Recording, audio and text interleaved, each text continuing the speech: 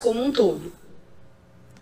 Olha, você já está acostumado. Toda quarta-feira a gente traz uma reportagem especial sobre o projeto Aquarela, essa iniciativa inovadora das tintas Darka. Essa iniciativa já formou uma turma de pintoras profissionais e agora está com novas alunas em treinamento. E elas já aprenderam como é importante formar parcerias no trabalho. Entendo por quê no episódio de hoje.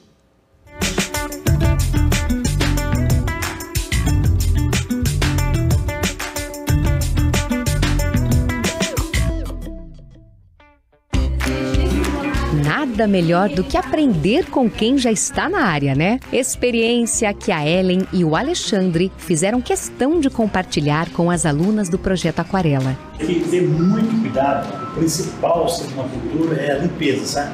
Quando tem estofado, a gente tem que clonar tudo, porque assim, se sujou uma cadeira, a cliente tá nem aí.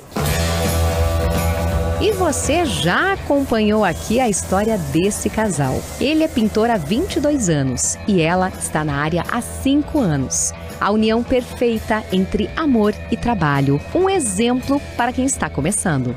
Muitos problemas, assim, do dia a dia. Muitas vezes a gente vê algo assim e acha que não é fácil, que é fácil pintar. Só que na hora tem bastante.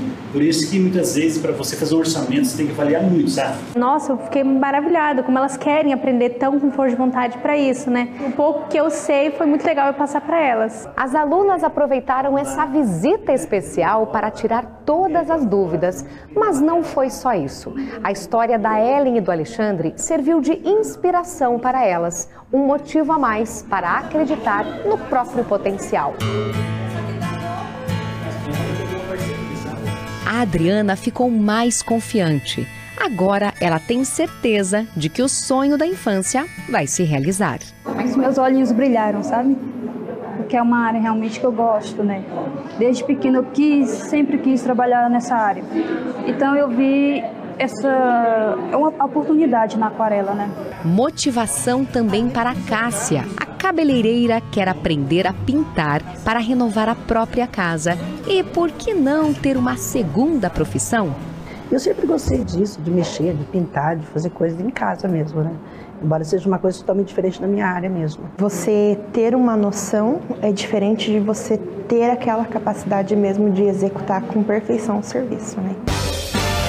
Já percebemos que determinação essas mulheres têm de sobra.